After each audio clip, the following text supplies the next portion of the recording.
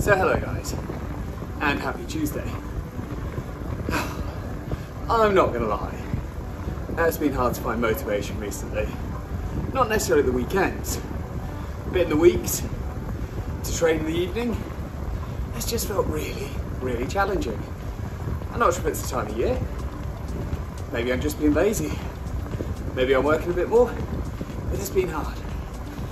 But as you can see, I finally dragged myself back onto we've got a lot to talk about.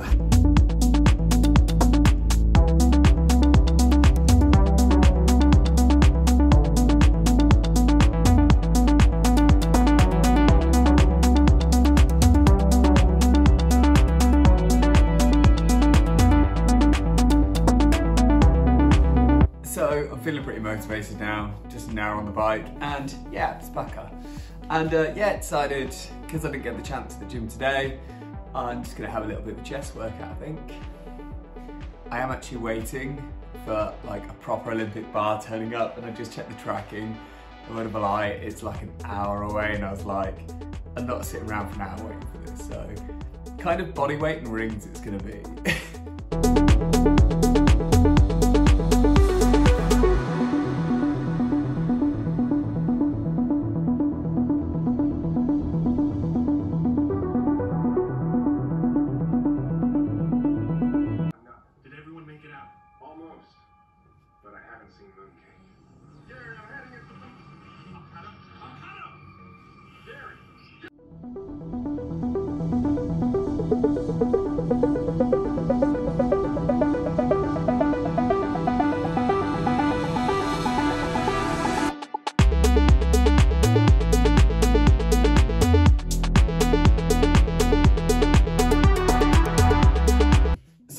can see, today, my workout's pretty basic, you know. I have access to the most amazing equipment on the market at the gym I work at, but I'm a believer and you should be able to do functional things at home to give the desired effect as well. With a couple of my online clients, I actually recommended they don't join a gym. Uh, they have families, they have a lot going on in their life, and they actually don't live that close to a gym, so they were finding it's a half an hour drive to the gym an hour in a non-busy time to get round all the machines and do their workout. Half an hour home. It's two hours gone that quickly. So what I actually recommended to a couple of people I train online is just to get some basic functional equipment, like what I use here, Olympic rings, some weights, maybe a barbell. And do you know what? That's enough to do a really decent workout. One thing that I've found with getting strong and getting good with cycling, with strength conditioning, it's not about big heavy weights. The majority of what I want to do with people is more functionality, balance, these things, mobility. You know, the strength comes, but it has to be brought together properly. It can't just be all be on a leg press. A lot of it has to be functional.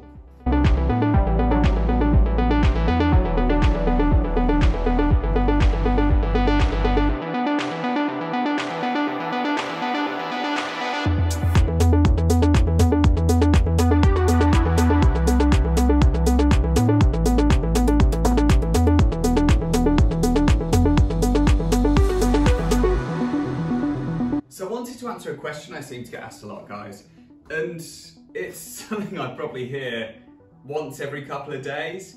People always seem to ask me, Robbie, don't you need to be light to be a good cyclist? Because I don't really look like your standard day-to-day cyclist, let's be fair. And it's a very interesting question, and there's so many factors which are involved with this, but I'm going to keep it really simple. So the way I see my cycling, the way I see my power, is how strong I am pound for pound. Yeah? So let's think about how you test your power. Let's talk about FTP. So that's your test you do on Zwift, yeah? Your number could be 150 watts, could be 300 watts. So me personally, when I weighed my lightest, I was like 74 kilo, and I probably had an FTP of about 280, yeah? So when I weigh my heaviest, which is probably now about 82, 83 kilos, my FTP is much higher. It's like 320. So that difference in FTP doesn't mean that the heavier me is a stronger cyclist. It actually evens me out to the lighter cyclist because it goes by pound for pound. And that's an odd thing to say, but understand this, yeah? I may have a, at 73 kilos weight, I may have a 280 FTP, yeah? So you put those two figures together and you get your watts per kilo. So my watts per kilo would roughly be at 73 kilos, about 4 watts per kilo.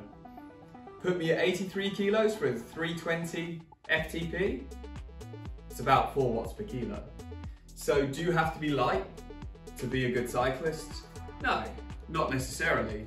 It helps, there's a lot of other factors.